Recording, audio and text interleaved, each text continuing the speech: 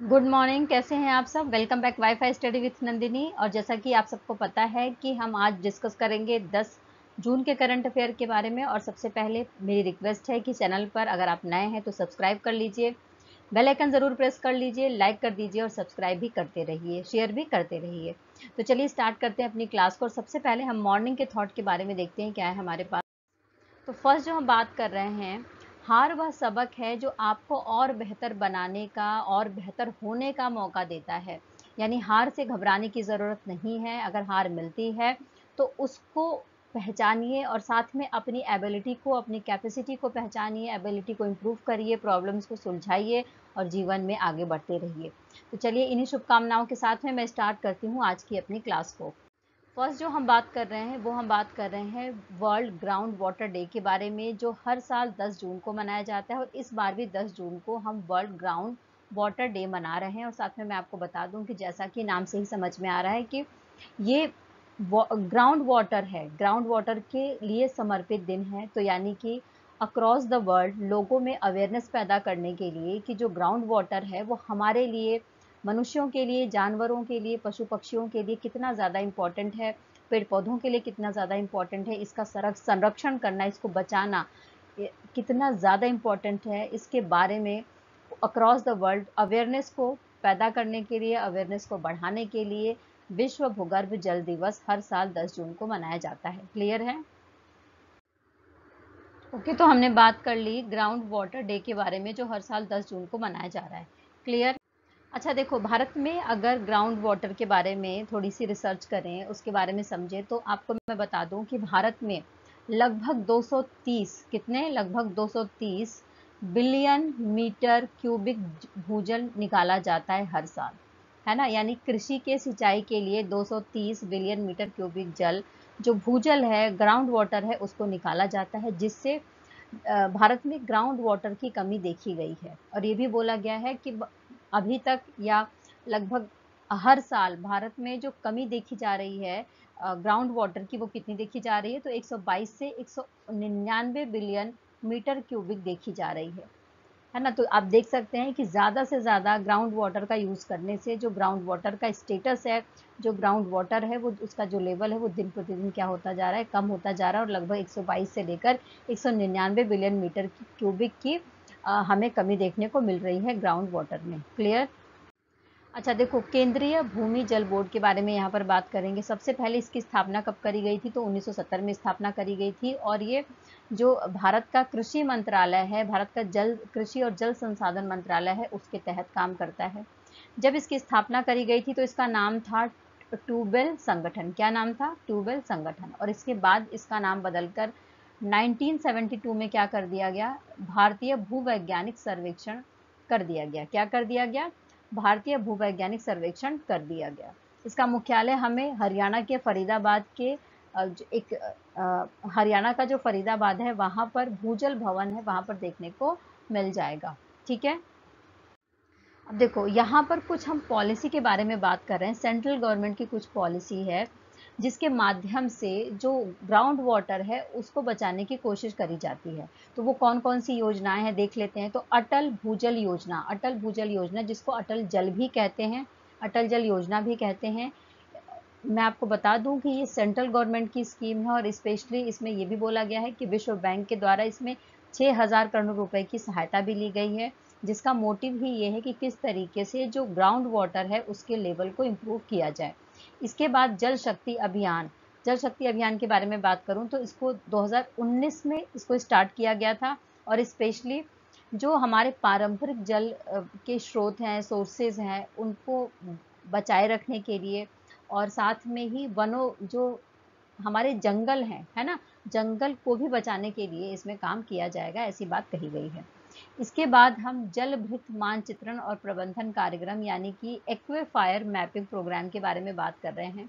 Mapping programme में तो नाम से ही समझ में आ रहा है कि जहाँ जहाँ पर ग्राउंड वाटर का लेवल दिखेगा, जहाँ जहाँ पर ग्राउंड वाटर हमें दिखेगा, उस एरिया का अच्छे से मैनेजमेंट किया जाएगा, उसका, उसकी मैपिंग करी करी जाएगी और उसको संरक्षित करने का भी काम किया जाएगा। इसके बाद हम बात कर रहे हैं कायाकल्प और शहरी परिवर्तन हेतु। अटल मिशन, किसके बारे में बात कर रहे हैं?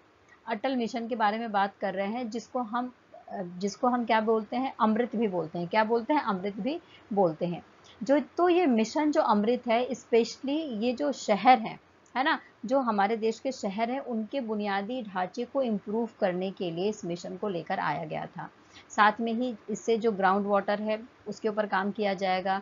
जो सीवेज है उसके ऊपर काम किया जाएगा, पानी की आपूर्ति के ऊपर काम किया जाएगा, पानी की सफ़ाई के लिए काम किया जाएगा। इन सब विषयों को लेकर जो अमृत मिशन है, इसको लेकर आया गया था, जिसको कहा जाता है कायाकल्प और शहरी परिवर्तन हेतु अटल मिशन। क्लियर तो ये कुछ सेंट्रल गवर्नमेंट की स्कीम्स हैं, जिसके बारे में हमने जान लिया, जो ग्राउंड वाटर से रिलेट करती हैं या जो पानी का प्रबंधन है, उससे रिलेट करती हैं। अब देखो, यहाँ पर कुछ स्टेट गवर्नमेंट की स्कीम्स हैं जिसके नाम यहाँ पर लिखे गए हैं, जो हमें पता होना चाहिए और देख लेते हैं क्या क्या है।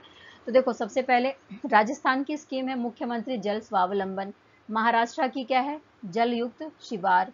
गुजरात की सुजलाम सुफलाम अभियान। तेलंगाना की मिशन काकतीय। आंध्र प्रदेश की नीरू चट्टू। उसके बिहार की जल जीवन हरियाली।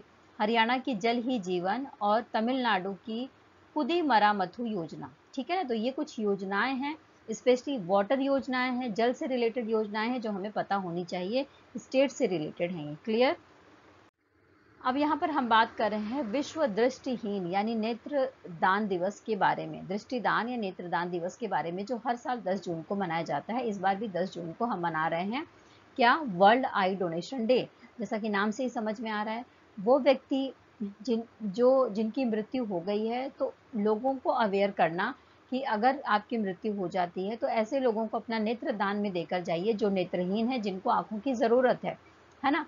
तो इस लोगों के बीच में अवेयरनेस पैदा करने के लिए और जो भी नेत्रदान से रिलेटेड जो भी एक्टिविटीज़ हैं, उसके लिए अवेयरनेस पैदा करने के लिए हम क्या मनाते हैं? हर साल हर साल हम 10 जून को वर्ल्ड आई डोनेशन डे मनाते हैं।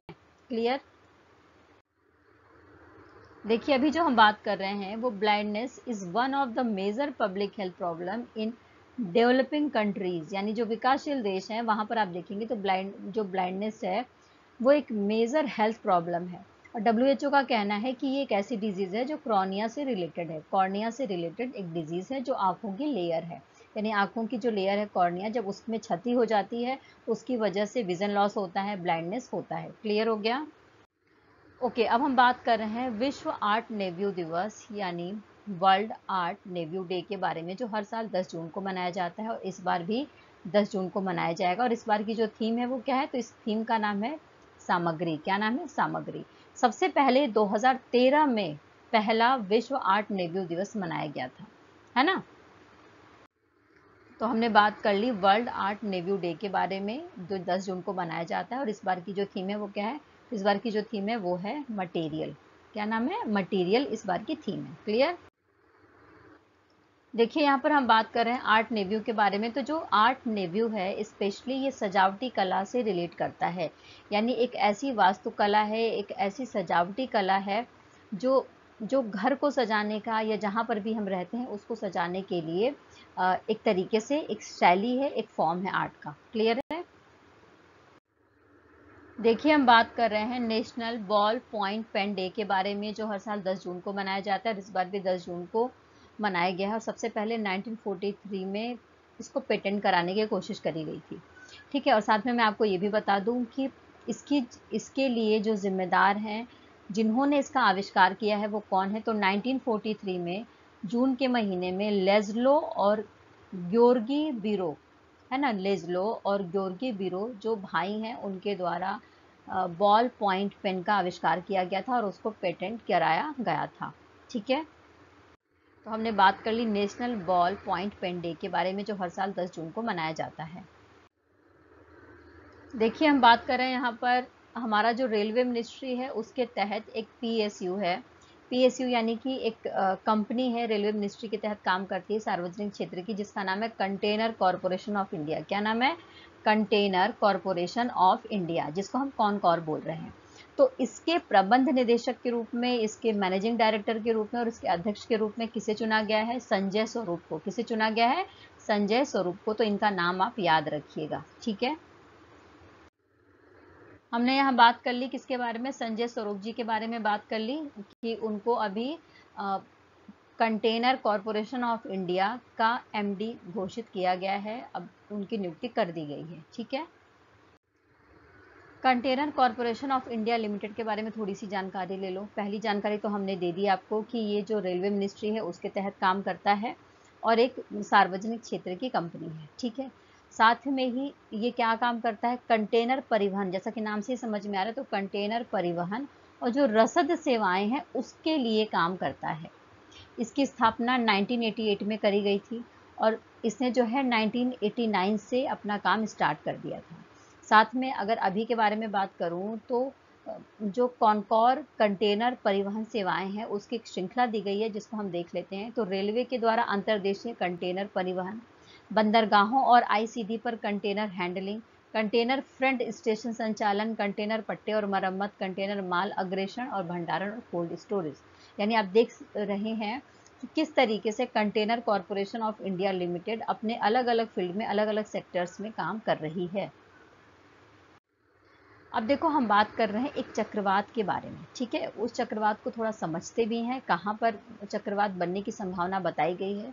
सबसे पहले भारत के मैप में आप गुजरात को देख सकते हो। ये वाला एरिया गुजरात का है, दिख रहा है आपको?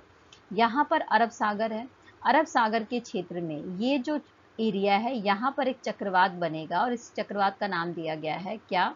इस चक्रवात का नाम दिया गया है विपर जॉय क्या नाम दिया गया है? विपर जॉय ठीक है ना? और ये एक तरीके का चक्रवाती तूफ़ान है।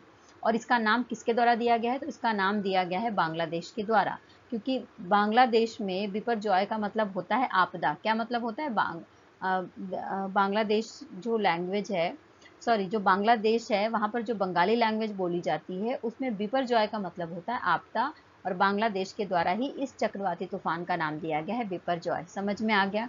तो जैसा कि आप देख रहे हो कि गुजरात का एरिया है, अरब सागर है और अरब सागर में जो तटवर्तीय क्षेत्र है, यहाँ पर इसकी जो चक्रवाती तूफ़ान है, इसकी बनने की संभावनाएँ बताई गई हैं और जो जून का महीना होता है, जून के महीना सबसे अच्छा होता है इस प्रकार के चक्रवातों को बनने के लिए। ठीक है? देखिए, हमने बात कर ली, ये एक तरीके का उष्ण कटिबंधीय चक्रवात है, मौसम विज्ञान संगठन के अनुसार और मौसम विज्ञान संगठन विश्व मौसम विज्ञान संगठन क्या काम करता है कि पर्टिकुलर जिस एरिया में चक्रवात उत्पन्न होता है तो उसके आसपास के देशों से नाम सुझाव उस पर्टिकुलर चक्रवात के साइक्लोन के नाम का सुझाव लेता है। ठीक है? तो इस बार का जो ये चक्रवात है जो ये साइक्लोन आ रहा है, इसके लिए नामकरण किसके द्वारा किया गया? है तो बांग्लादेश के द्वारा किया गया। और ये भी बताया गया है विश्व मौसम संगठन के द्वारा कि अगली बार अगर इस एरिया में कोई भी इस तरीके का तूफ़ान आता है साइक्लोन आता है तो उसका नामकरण किया जाएगा भारत के द्वारा तेज। क्या नाम रखा जाएगा? भारत के द्वारा तेज रखा जाएगा। क्लियर है? तो अरब सागर में अगर चक्रवात की स्थिति आप देखना चाहते हो तो सबसे पहले मैं आपको बता दूँ कि उष्ण कटिबंधीय क्षेत्र है ये सबसे पहली बात। दूसरी चीज़ जो जून का महीना होता है, वो सबसे अच्छा महीना होता है इस तरीके का जो साइक्लोन है उसको डेवलप होने के लिए। इसके पीछे का रीज़न क्या है? रीज़न ये है कि जो दबाव की प्रक्रिया है समुद्र और स्थल के बीच में, वो काफ़ी ज़्यादा बढ़ जाती है क्योंकि सूरज की रोशनी काफ़ी तेज़ यहाँ पर पड़ती है। है ना? तो जिस वजह से जो अरब सागर है, जो जो समुद्र वाला एरिया है, वो प्रभावित होता है और जो जलवायु में परिवर्तन देखने को मिलता है और इस तरीके के जो तूफानी साइक्लोन है, वो हमें देखने को मिलते हैं। देखिए, यहाँ पर जो हम बात कर रहे हैं, फेडरल बैंक के बारे में बात कर रहे हैं, साथ में मैं आपको ये भी बता दूँ कि जो चेन्नई का फेडरल बैंक है, उसके द्वारा जो ये कैंपेन स्टार्ट किया गया है, उस कैंपेन का नाम क्या है? तो कैंपेन का नाम है I am Adyar Adyar is me इस कैंपेन को स्टार्ट किया गया है। उसके पीछे का मोटिव है कि जो वहाँ पर निवास करने वाले स्थानीय अडियार लोग हैं, उनकी संस्कृति को, उनकी विरासत को बढ़ावा देना है। साथ में ही जो फेडरल बैंक की जो अडियार शाखा है, जो ये जो ब्रांच है अडियार वाली, उसको अडियार संस्कृति से रिलेट किया जाएगा। एक तरीके से संग्रहालय में कन्वर्ट किया जाएगा। उसकी दीवारों पर अडियार की जो कहानियाँ हैं, उनके उनके जो जीवन चरित हैं, उनकी पेंटिंग भी दिखाई जाएगी और लगभग 40 सम्मोहक कहानियों को दर्शाने की बात कही गई है। ठीक है तो समझ में आ गया। I am Adyar Adyar is me ये जो कैंपेन है शुरू किया गया है चेन्नई में फेडरल बैंक के द्वारा। ठीक है, हमने बात कर ली campaign aims to honour and celebrate the local community of Adyar ठीक है? अब देखो फेडरल बैंक लिमिटेड के बारे में बात करें तो भारत की एक जो प्राइवेट सेक्टर का एक बैंक है ये, जिसका मुख्यालय आपको केरल के कोच्चि के अलुआ में देखने को मिलेगा। कहाँ पर? केरल के कोच्चि के अलुआ में देखने को मिलेगा और साथ में मैं आपको ये भी बता दूँ कि इस समय प्रेजेंट में पूरे भारत में इसकी कितनी सारी ब्रांचेज हैं तो 1370 इसकी ब्रांचेज आपको देखने को मिल जाएँगी। इसकी स्थापना किसके द्वारा करी गई थी? तो के पी के द्वारा। स्थापना कब की गई थी? तो नेदुमपुरम में करी गई थी 1931 में 23 अप्रैल को। अब इस समय प्रेजेंट में इसके सीईओ यानी चीफ एग्जीक्यूटिव ऑफिसर कौन है? तो श्याम श्रीनिवास है। कौन है? श्याम श्रीनिवास जी हैं। क्लियर हो गया? और इसके अलावा फेडरल बैंक का कुछ विदेशी शाखाएँ भी हैं जिनके बारे में जान लेते हैं, कहाँ कहाँ पर हैं। तो Abu Dhabi Qatar Kuwait Oman और दुबई में भी इसके कार्यालय हमें देखने को मिल जाएँगे। तमिलनाडु के बारे में बात कर लेते हैं। तो देखो, तमिलनाडु का मैप आप जब देखोगे तो भारत का दक्षिणतम बिंदु है तमिलनाडु और इसका गठन 26 जनवरी 1950 को किया गया था और इसकी जो सीमाएँ हैं, यानी जो इसके बॉर्डर्स हैं, इसका निर्धारण कब किया गया था? तो इसके बॉर्डर्स को डिसाइड किया गया था 14 जनवरी 1969 को। और आप देखेंगे, बंगाल की खाड़ी है, अरब सागर है, हिंद महासागर से घिरा हुआ है ये। साथ में इसकी राजधानी चेन्नई है। राज्यपाल रविंद्र नारायण रवि हैं। मुख्यमंत्री एम के स्टालिन है। विधानसभा में 235 सीटें जाती हैं। राज्यसभा में 18 सीटें यहाँ से जाती हैं और लोकसभा में यहाँ से 39 सीटें जाती हैं। तो हमने देख लिया, बिल्कुल भारत का दक्षिणतम राज्य है। सदर्न स्टेट है, जिसका नाम है तमिलनाडु। ठीक है? देखिए, हम यहाँ पर बात कर रहे हैं नाटो के बारे में। तो नाटो का एक वायु सैनिक अभ्यास होने वाला है। यानी कि एयर डिफेंडर ट्वेंटी थर्ड होने वाला है। एयर डिफेंडर जो ट्वेंटी थर्ड है, वो क्या है? बात कर लेते हैं इसके बारे में। एक तरीके से वायुसेना का डिप्लॉयमेंट अभ्यास है। क्या है? Largest air force deployment exercise है। है ना? जो किसके द्वारा कराया जाता है तो नाटो के द्वारा कराया जाता है। और अभी मैं बता दूँ कि ये कितने दिन तक चलेगा? दस दिन तक चलेगा। कितने दिन तक चलेगा? दस दिन तक चलेगा और कभी स्टार्ट होगा? बारह जून से स्टार्ट हो जाएगा और कब तक चलेगा? बाईस जून तक ये चलने वाला है। ठीक है? साथ में मैं आपको ये भी बता दूँ कि 25 जो है नाटो के जो सदस्य देश हैं और साथ में जो साझेदार देश हैं, उनके लगभग 220 सैन्य विमान इसमें पार्टिसिपेट कर रहे हैं।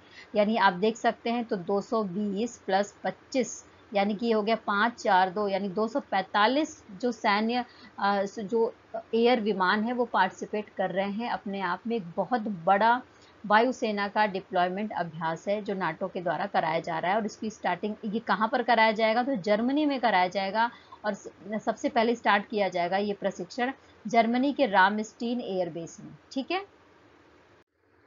अब देखो एयर डिफेंडर 2023 के बारे में अगर हम समझने की कोशिश करते हैं तो सबसे पहले हम सबको ये पता होना चाहिए कि ये नाटो के द्वारा कराया जा रहा है, यूरोप के जर्मनी में कराया जा रहा है, और इसमें 245 जो एयर विमान हैं, वो भाग ले रहे हैं, ठीक है ना?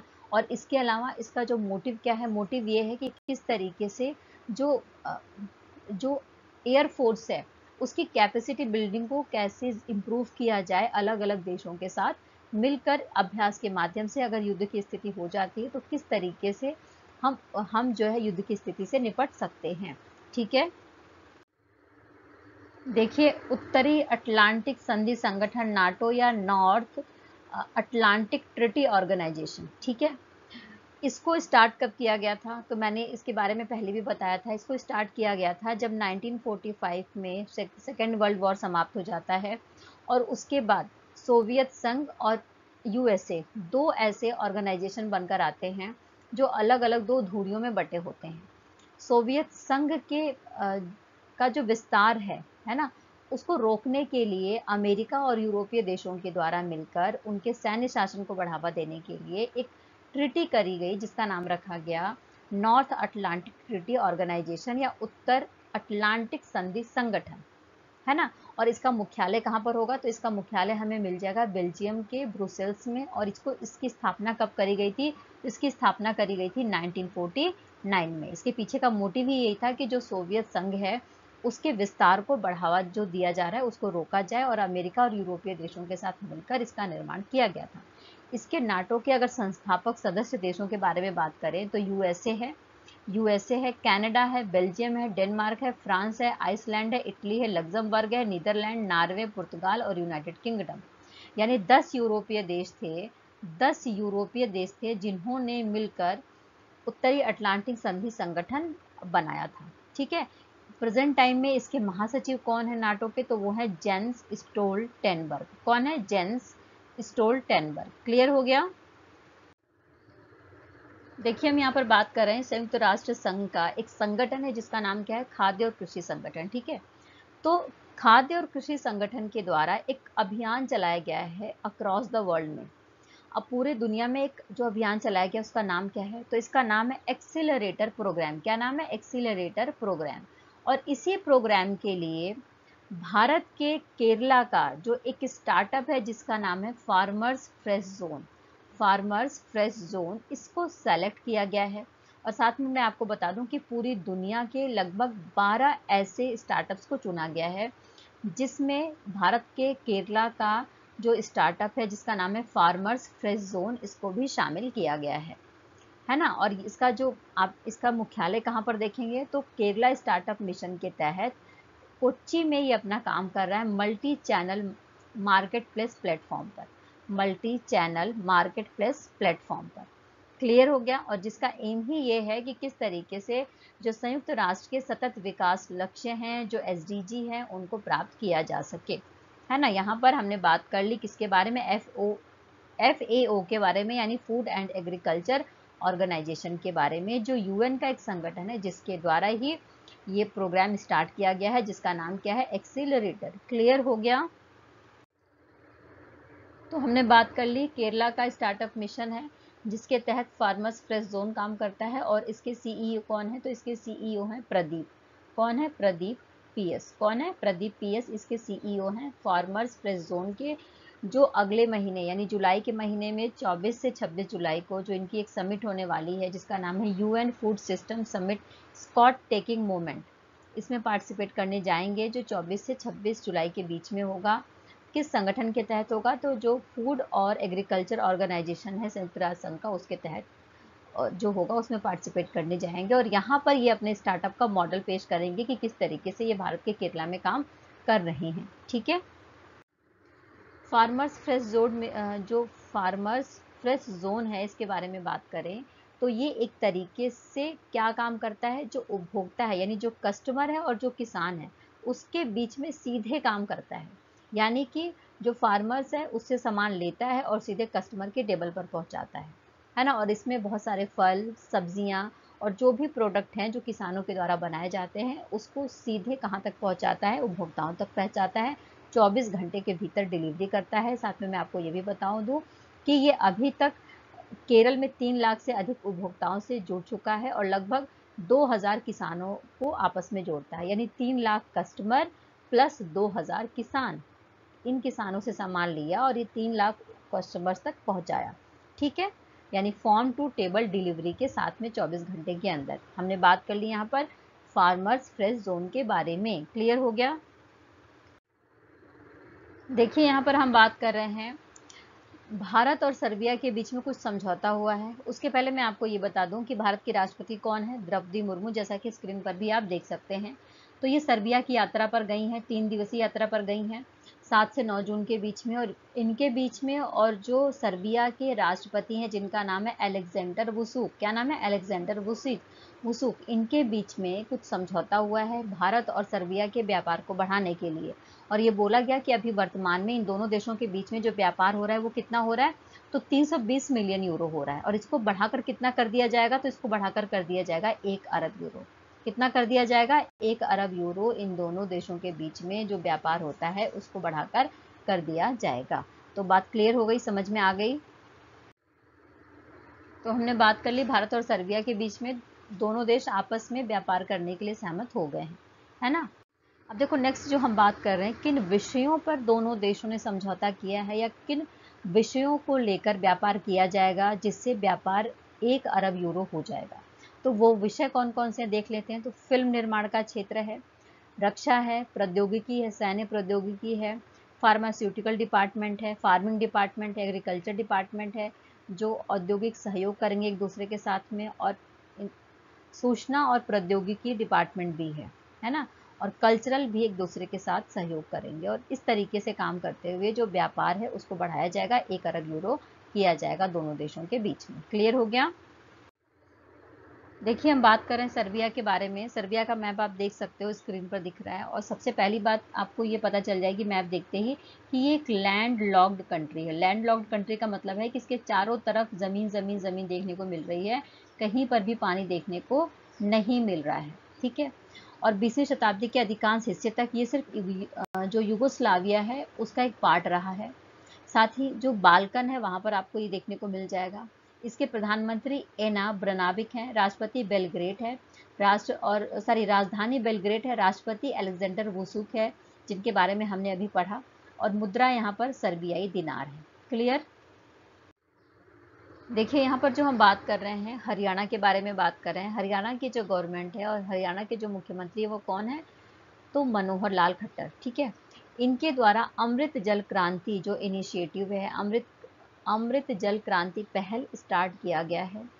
साथ में इसके पीछे का जो मोटिव है वो क्या है? मोटिव ये है कि जो जल संसाधन है, एकीकृत जल संसाधन कार्य योजना 2023 और 25 डिसाइड किया गया था, उसी के तहत एक पहल लेकर आई गई है, एक इनिशिएटिव लेकर आया गया है, जिसका नाम रखा गया अमृत जल क्रांति पहल।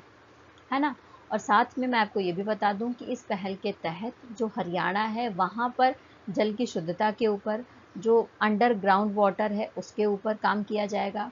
वाटर वेस्ट कैसे विकसित किए जा सकते हैं, उसको संरक्षित किया, कैसे किया जा सकता है मैनेजमेंट कैसे किया जा सकता है, इन सब विषयों को लेकर ही एक योजना स्टार्ट करी गई, जिसका नाम रखा गया था एकीकृत जल संसाधन कार्य योजना। तो उसी योजना के तहत एक इनिशिएटिव स्टार्ट किया गया है। उस इनिशिएटिव का नाम है अमृत जल क्रांति पहल। किसके द्वारा? हरियाणा के जो मुख्यमंत्री हैं मनोहर लाल खट्टर के द्वारा। क्लियर हो गया? समझ में आ गया? अच्छा जो हरियाणा गवर्नमेंट है, उसकी एक और योजना आई थी, पहले उसके बारे में जान लेते हैं।